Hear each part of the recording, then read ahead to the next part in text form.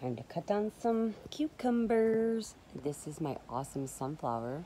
That was an accident. That was not meant to be in my vegetable garden. But it is cucumber time. Let's see what we got. Oh my goodness. Look at this big guy. Wow. Charlie, look at the size of this cucumber. These are prickly though. Look at Charles. Wow. Oh, there's another one in there. Oh my goodness, I'm gonna fall in. Holy moly. They taste amazing. We had a cucumber salad yesterday. And they're awesome. Okay, this one's really prickly. I can't believe, oh, whoops. Okay, I don't think you're supposed to do it like that. Yeah, I just ripped that off.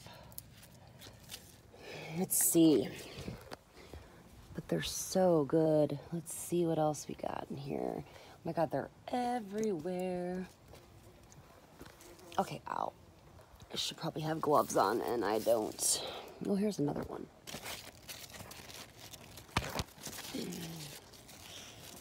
There's so many. Oh, there's another one. And they're too big. You don't want to do that. Ah, these are prickly. Charlie. Okay. What else do we got there? I see another big one back there. Oh, there's a couple. Oh my goodness. These are so amazing. They grow so fast. Wow. Oh, Ow. Pickles.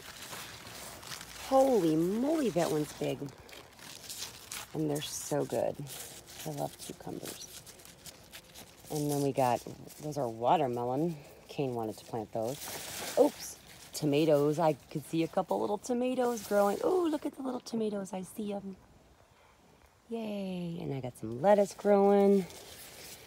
And look at this. This is just in now in a couple days, there will probably be like 10 more. I got some basil and oregano and what else? Rosemary. Whoa, the sunflower is absolutely incredible.